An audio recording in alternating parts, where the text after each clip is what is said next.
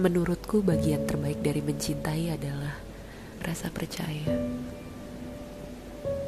Siapa pun bisa saja jatuh cinta pada kekosongan yang kelak usai karena akhirnya diisi oleh orang lain.